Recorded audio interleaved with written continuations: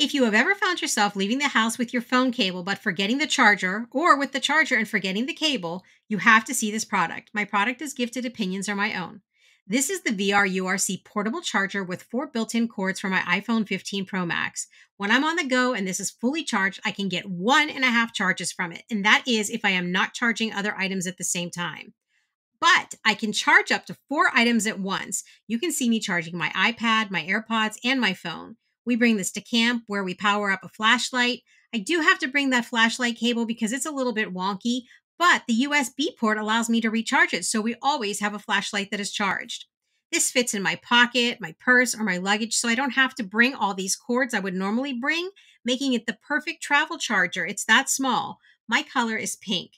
There is a digital LED readout on this, so you'll know the battery percentage all the time, and you'll know how much charge it has left on it. The battery pack charges in about two and a half hours if you use a USB Type C cable.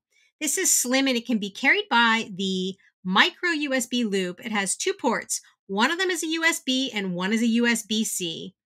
I highly recommend the charger for anybody that travels or wants a charger on the go. I use this daily. It's affordable and it makes life so much easier to always stay powered up.